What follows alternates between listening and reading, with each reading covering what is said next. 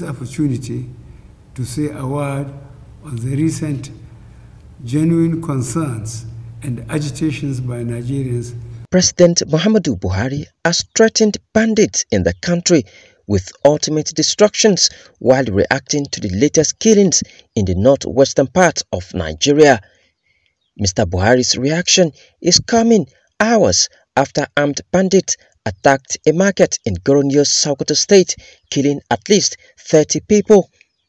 In a statement, President Buhari said the days of the bandits are indeed numbered because the military capabilities of the Nigerian forces are being boosted by the acquisition and deployment of advanced equipment. The president added that the cowardly attacks on innocent people by the bandits showed a rearguard action of criminals under pressure.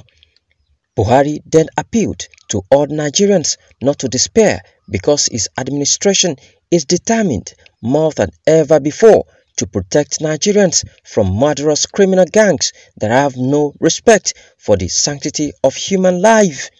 The protection of lives and livelihoods of our people. We will also ensure that all those responsible for misconduct or wrongful acts are brought to justice. Reports during the weekend earlier indicated that the bandits, numbering about 200, raided the Sunday market and killed over 30 people. Many people have been killed or kidnapped in various attacks this year in states like Sokoto, Zamfara, Kaduna, Katsina, all in northern Nigeria. Attacks have continued despite the previous statement by the Nigerian president as well as massive deployment of troops to the affected areas. Kamil Sadiq, CBA TV.